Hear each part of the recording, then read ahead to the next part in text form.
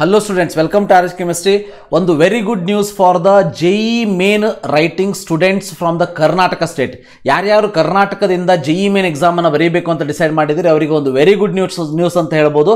ಸ್ವಲ್ಪ bad news ಅಂತಲೂ ಹೇಳ್ಬೋದು. ವೆರಿ ಗುಡ್ ನ್ಯೂಸ್ ಏನಪ್ಪ ಅಂತಂದರೆ ಜೆಇ ಮೇನ್ ಫಸ್ಟ್ ಸೆಷನ್ ಏನಿತ್ತು, ಇಪ್ಪತ್ತೊಂದರಿಂದ ನಾಲ್ಕನೇ May two thousand twenty two ತನಕ ಏನಿತ್ತು, ಅದನ್ನು ಬಹಳ ಮುಂದೆ ಹಾಕಿಬಿಟ್ಟಿದ್ದಾರೆ. ಬಹಳ ಮುಂದೆ ಅಂದ್ರೇನು, ಇಪ್ಪತ್ತನೇ ತಾರೀಕಿನಿಂದ ಇಪ್ಪತ್ತೊಂಬತ್ತು June two thousand twenty two ಹಾಕಿದ್ದಾರೆ. Just imagine May first session ಇರೋದು June two thousand twenty two ಹೋಗಿದೆ. ಆ್ಯಂಡ್ ಸೆಕೆಂಡ್ ಸೆಷನ್ ಏನು? Twenty ಫೋರ್ತಿಂದ twenty ninth May two thousand twenty two ಅಂಥೇಳಿ ಫಿಕ್ಸ್ ಆಗಿತ್ತು ಮೊದಲು. ಈಗ ಅದು twenty ಫಸ್ಟಿಂದ thirtieth July two thousand twenty two ತನಕ ಆಗಿದೆ. ಅಂದರೆ ನಿಮ್ಮ ಒಂದು ನೀಟ್ ಎಕ್ಸಾಮಿನೇಷನ್ ಜುಲೈ ಹದಿನೇಳನೇ ತಾರೀಕಿದೆ. ಸೊ ಅದಾದ ಮೇಲೆ ಇಪ್ಪತ್ತೊಂದರಿಂದ ಇಪ್, ಮೂವತ್ತನೇ ತಾರೀಕು ನಿಮ್ಮ ಜುಲೈ ಟು ತೌಸಂಡ್ ಟ್ವೆಂಟಿ ಟೂದಲ್ಲಿ ಸೊ ನಿಮ್ಮ ಜೆ ಇ ಮೇನ್ ಎಕ್ಸಾಮಿನೇಷನ್ ಇರ್ತದೆ. ಓಕೆ ಇದು good news for the Karnataka students definitely ಯಾಕಂತಂದರೆ ಫಸ್ಟ್ ಸೆಷನ್ ಏನಿತ್ತು, ಕರ್ನಾಟಕದ ವಿದ್ಯಾರ್ಥಿಗಳಿಗೆ ಕ್ಲಾಶ್ ಆಗ್ತಿತ್ತು. ಕ್ಲಾಶ್ ಆಗ್ತಿತ್ತು ಅಂದ್ರೇನು ಅವರಿಗೆ ಇವತ್ತು ಮ್ಯಾಥಮೆಟಿಕ್ಸ್ ಎಕ್ಸಾಮಿನೇಷನ್ ಮುಗಿದ ತಕ್ಷಣ ನಾಳೆ ಜೆ ಇ ಮೇನ್ ಎಕ್ಸಾಮಿನೇಷನ್ಗೆ ಹೋಗುವಂಥ ಪರಿಸ್ಥಿತಿ ಬಂದ್ಬಿಟ್ಟಿತ್ತು. ಆದರೆ ಈಗಿನ ಒಂದು ರಿವೈಸ್ಡ್ ಡೇಟ್ ಪ್ರಕಾರ ಅದು ಯಾವುದೂ ಕೂಡ ಪ್ರಾಬ್ಲಮ್ ಇಲ್ಲ. ನಮ್ಮ ವಿದ್ಯಾರ್ಥಿಗಳಿಗೆ ಸಾಕಷ್ಟು ಸಮಯನೂ ಕೂಡ ಸಿಗ್ತದೆ. ಪ್ರಿಪೇರ್ ಆಗೋದಕ್ಕೆ ಯಾವುದೇ ಪ್ರಾಬ್ಲಮ್ ಇಲ್ಲ.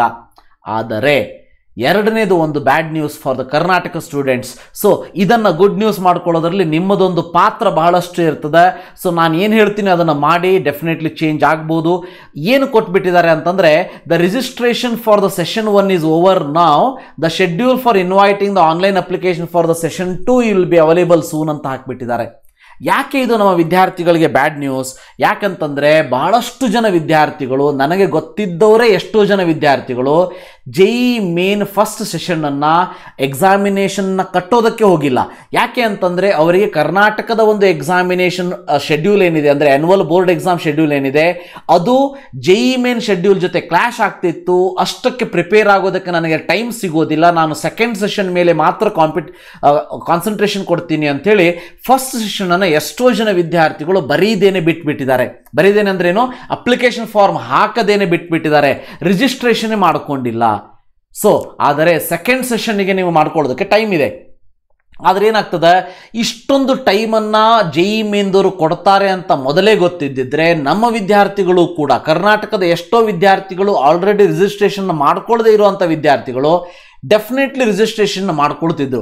ಅದಕ್ಕೆ ನಾನು ನಿಮಗೆ ಹೇಳುವಂಥದ್ದು ಇಷ್ಟೇ, ಕರ್ನಾಟಕದ ಪ್ರತಿಯೊಬ್ಬ ವಿದ್ಯಾರ್ಥಿಯು ಯಾರ್ಯಾರು ಸಿ, ಇದು ಕರ್ನಾಟಕದವರಿಗೆ ಅಷ್ಟೇ ಪ್ರಾಬ್ಲಮ್ ಆಗಿರಬಹುದು. ಯಾಕಂತಂದರೆ, ಉಳಿದಂತಹ ರಾಜ್ಯಗಳಲ್ಲಿ ಬೇರೆ ಬೇರೆ ದಿವಸ ಈ ಒಂದು ಆ್ಯನ್ಯುವಲ್ ಬೋರ್ಡ್ ಎಕ್ಸಾಮ್ ಇರೋದ್ರಿಂದ ಅವರು ಆಲ್ರೆಡಿ ಫಸ್ಟ್ ಸೆಷನಿಗೆ ಅಪ್ಲಿಕೇಶನ್ ಹಾಕಿರ್ಬೋದು ಹೌದಾ? ನಮ್ಮ ಕರ್ನಾಟಕದ ವಿದ್ಯಾರ್ಥಿಗಳಿಗೆ ಮಾತ್ರ ಆಗಿರುವಂಥ ಪ್ರಾಬ್ಲಮ್ ಇದು. ಸೊ ಡೇಟ್ಸ್ ಏನೋ ಮುಂದೆ ಹೋಯಿತು ಆದರೆ ಫಸ್ಟ್ ಸೆಷನ್ ನಿಮಗೆ ಅಪ್ಲಿಕೇಶನ್ ಇಷ್ಟೊಳಗೆ ಹಾಕಲಿಲ್ಲ ಅಂತಂದರೆ it is of no use ಅದಕ್ಕೆ ನಾನು ಕೇಳ್ಕೊಳ್ಳೋದಿಷ್ಟೇ thousands of in the request thousands of request when it is goes to this email address J main at N T A dot A C dot in ಗೊತ್ತಿರಲಿ? Thousands of request ಯಾವಾಗ J main dot J E main at N T A dot A C dot in ವೆಬ್ಸೈಟ್ಗೆ ಹೋಗ್ತದೆ definitely they will consider ನಿಮ್ಮ problem ಏನು ಅನ್ನೋದನ್ನು ಕರೆಕ್ಟಾಗಿ ನೋಡಿಕೊಂಡು so you have to ಅಂದರೆ ಆ ಒಂದು ಪ್ರಾಬ್ಲಮನ್ನು ಅದರಲ್ಲಿ ಎಕ್ಸ್ಪ್ಲೇನ್ ಮಾಡಿ, ಒಂದು ಮೇಲ್ ಮಾಡಿ ಓಕೆ ಸೊ ನಾನು ಈ ಮೂಲಕ ನಮ್ಮ ಕರ್ನಾಟಕದ ಎಜುಕೇಷನ್ ಮಿನಿಸ್ಟರ್ಗೂ ಕೂಡ ಕೇಳ್ಕೊಳ್ತೀನಿ. ಸೊ ದಯವಿಟ್ಟು J E main N T ಎದವ್ರನ್ನ contact ಮಾಡಿ, ಕರ್ನಾಟಕದ ವಿದ್ಯಾರ್ಥಿಗಳಿಗೆ ಆಗಿರುವಂತಹ ಪ್ರಾಬ್ಲಮನ್ನು ಎಕ್ಸ್ಪ್ಲೇನ್ ಮಾಡಿ. ಇನ್ನೊಂದು ಸಾರಿ ಸೆಷನ್ ಒನ್ನಿಗೆ ಅಪ್ಲಿಕೇಶನ್ ಹಾಕೋದಕ್ಕೆ ಅಟ್ಲೀಸ್ಟ್ ಒಂದು ಫೈವ್ ಡೇಸ್ ಟೈಮನ್ನು ಕೊಡಿ. ಕೊಟ್ಟರೆ ಮಾತ್ರ ನಮ್ಮ ವಿದ್ಯಾರ್ಥಿಗಳಿಗೆ ಉಪಯೋಗ ಆಗ್ತದೆ. ಇಲ್ಲ ಅಂತಂದರೆ ಫಸ್ಟ್ ಸೆಷನ್ ನಮ್ಮ ವಿದ್ಯಾರ್ಥಿಗಳು, ಎಷ್ಟೋ ಜನ ವಿದ್ಯಾರ್ಥಿಗಳು ಬರೆಯೋದಕ್ಕೇನೆ ಸಾಧ್ಯ ಆಗೋದಿಲ್ಲ.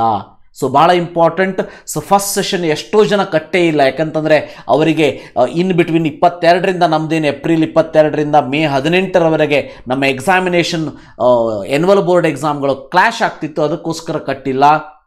ದಯವಿಟ್ಟು ಎನ್ ಟಿ ಎ ಅವರು ಚೇಂಜ್ ಮಾಡಲೇಬೇಕು.